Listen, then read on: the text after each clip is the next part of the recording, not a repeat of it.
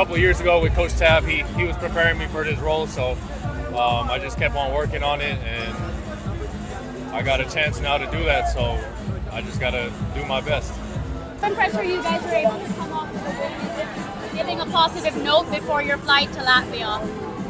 Uh, it was less about the win. Uh, we were just trying to work on our stuff, uh, get some conditioning. We've been practicing, so we were a little bit sore, and we were just using it as practice.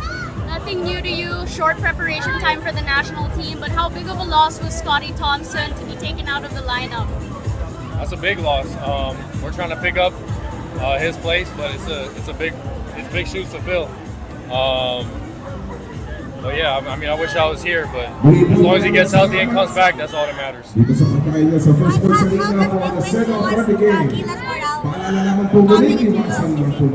pagkain Or tune-up games, okay. yeah, I think the, the next two tune-up games against uh, really good national teams, that's going to be a bigger test for us.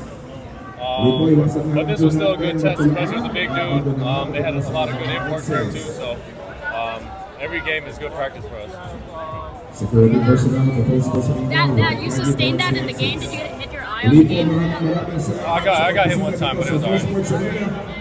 How did it feel to have this much time to tune out for Gilas Man, it's always been great. Anytime the game is in the Philippines, it, it always gets packed out, and it's just so fun to play here. That you're looking forward to for OQT apart from the Scandinavian?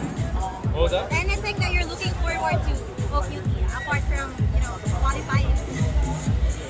just to, to do it with my teammates. Um, these guys are great guys to be with, and on and off the court, it's really fun to be with. So, anytime I, I get to join Gilas, it's more like seeing my friends again.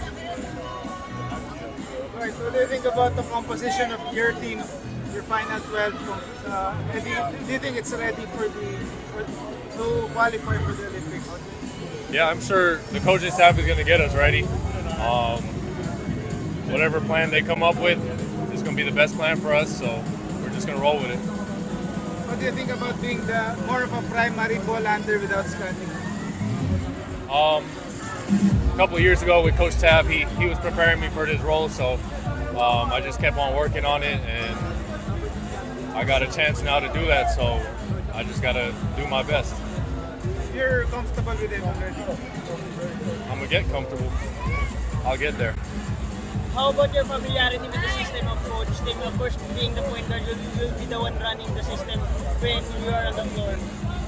Um, the point guard job is not not too like it's not like I'm keeping the ball the whole time. So as long as I keep passing the ball, move the ball around, that's kind of the job of the point guard. Like, how, how, has your bidding experience prepared you for this upcoming OQT with Gilas? Uh, in the B League, it's always tough playing because uh, they got really good imports there. The Japanese players are really disciplined, so um, it's good practice for me to go against disciplined players like that. It's like, Right.